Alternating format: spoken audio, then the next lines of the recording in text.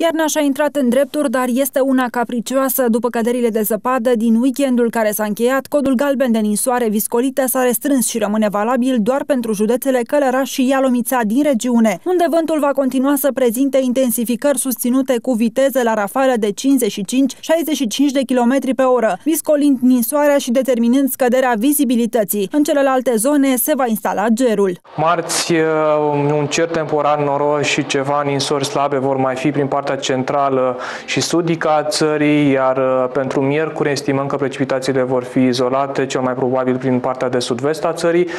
Temperatura va continua să scadă, dacă luni la amiază vor fi temperaturi de la minus 3 grade în estul Transilvaniei, în nordul Moldovei, cel mult 6 grade. La munte, zăpada căzută a așternut un strat de 130 de centimetri la vârful Omu. Atenționarea de avalanșă se menține până luni la ora 20, iar Salva Montiști avertizează turiștii să nu se aventureze pe trasee nemarcate și în zone cu strat nou de zăpadă, unde instabilitatea este mare și pericolul pândește la orice pas.